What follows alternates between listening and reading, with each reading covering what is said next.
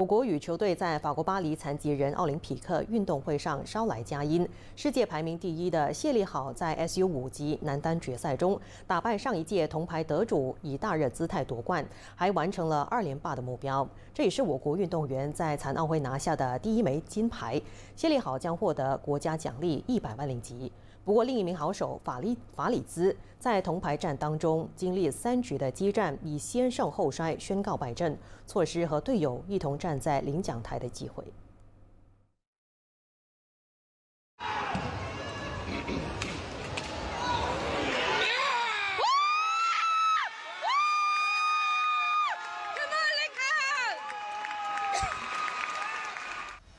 现年三十六岁的谢丽好状态大好，在羽球 SU 五级男单决赛第一局开场以二比零稍微落后，随后连拿五分，率先以十一比七进入间歇。下半场这名世界第一交出稳定的表现，最终以二十一比十三拿下第一局。第二局的比赛较为吃紧，双方你来我往，谢丽好保持领先姿态，以二十一比十五胜出，成功卫冕拿下他的第二面奥运金牌。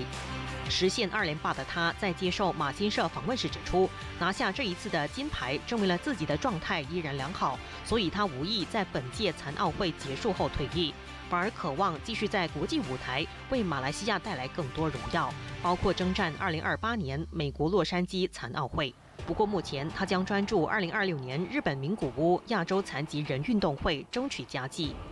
谢利好为大马队贡献第一面金牌后，首相拿督斯里安华和内阁成员纷纷在社交媒体发文祝贺这名选手，不仅成功卫冕，也为国家献上一枚意义重大的金牌。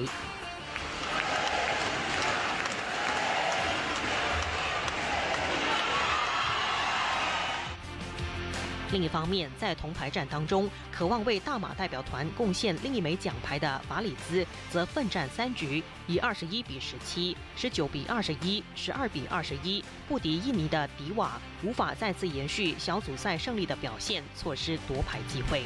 他在赛后接受访问时坦言，自己非常想要拿下这一枚铜牌，但在场上的发挥有些失常，而对手也具备2020年日本东京残奥会的参赛经验，最终只能俯首称臣。